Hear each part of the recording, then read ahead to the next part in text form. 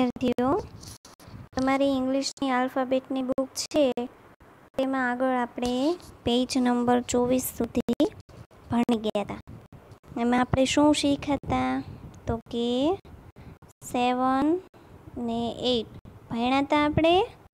બધાને હોમવર્ક આપ્યું હતું મેં સેવન અને એટનું લખવાનું. એ બધાએ લખ્યું, બધાએ લખી નાખ્યું હશે. હવે પછીનો પેજ નંબર છે જે પચીસ નંબરનું પેજ. એમાં આપણે શું શીખવાનું છે?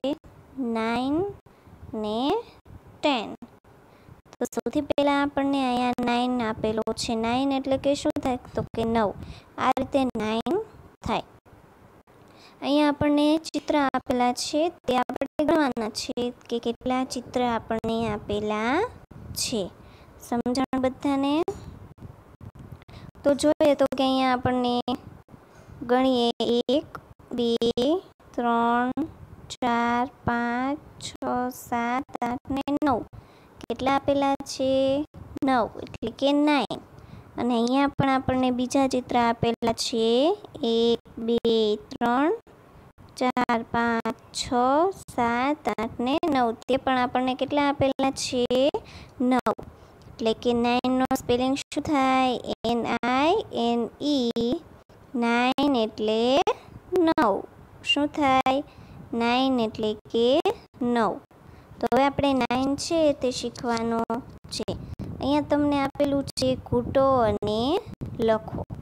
તો નવ છે આપણે અહીંયા આપેલા છે. એ સૌથી પહેલાં આપણને ખૂટવાના છે અને પછી જે ખાલી ખાના આપેલા છે, તેમાં આપણે લખવાનું છે.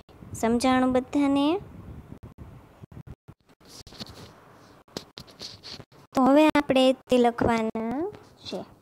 ક્યાંથી શરૂઆત કરવાની, અહીંથી શરૂઆત કરવાની છે. આ રીતે સમજાણું બધાને? આ રીતે બધાએ નાઇન લખવાના છે.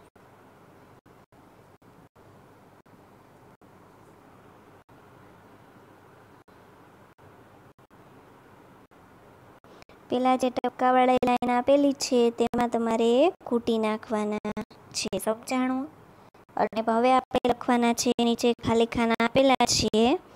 ત્યાં હવે આપણે લખશું. ત્યાં પણ આવી રીતે લખવાનું છે. ધીમે ધીમે આપણે લખશું એટલે આપણને આવડી જશે.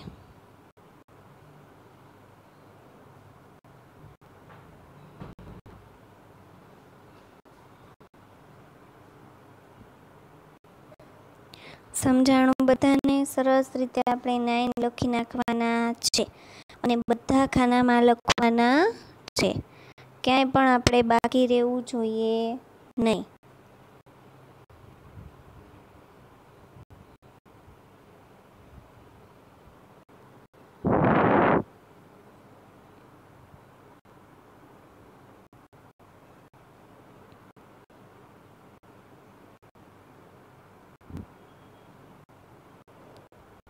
જો આ રીતે લખી નાખવાના છે.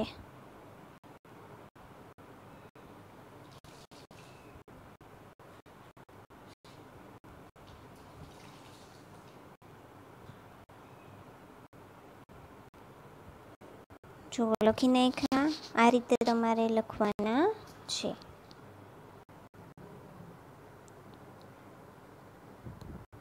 હવે નીચે તમને ટેન આપેલા છે. હવે આપણે ટેન શીખવાના છે. નાઇન શીખી ગયા અને ટેન શીખવાના છે. તો ચાલો, હવે આપણે નીચેના જે ચિત્ર આપેલા છે તે આપણે ગણવાના છે. તો કેટલા છે?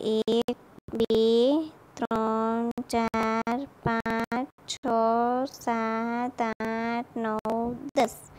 કેટલા આપેલા છે? ટેન. ટેન એટલે કે દસ.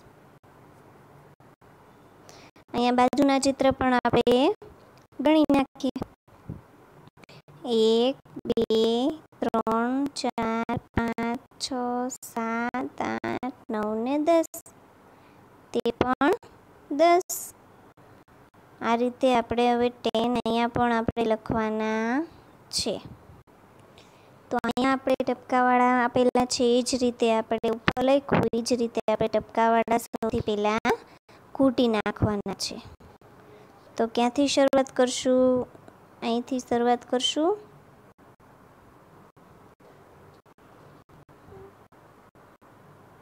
આ રીતે, આમ, સમજાણું?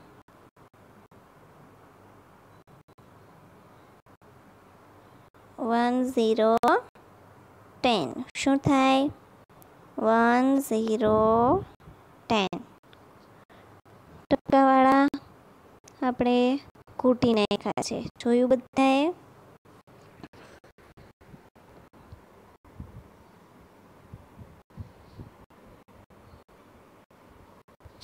હવે આપણને નીચે જાતે લખવાના આપેલા છે. હવે આપણે તેમાં લખશું.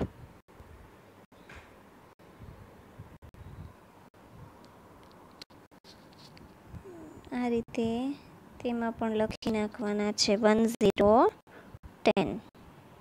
One zero ten. બોલતું જવાનું અને લખતું જવાનું.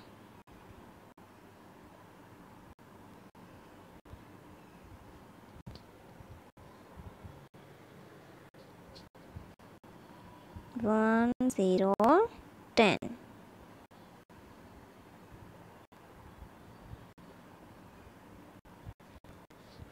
બધા ખાનામાં લખી નાખવાનું છે.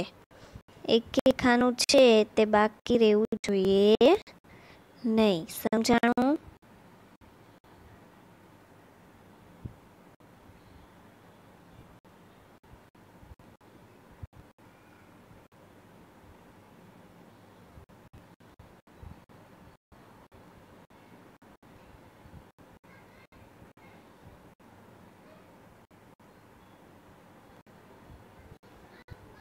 બધામાં આપણે લખી નાખશું.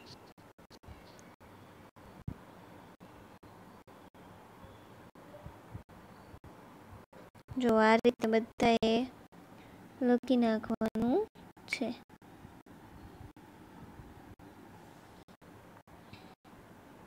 લખી નાખ્યું બધાએ. હવે તમારે હોમવર્કમાં તમને અહીંયા બાજુમાં આપેલું જ છે જગ્યા.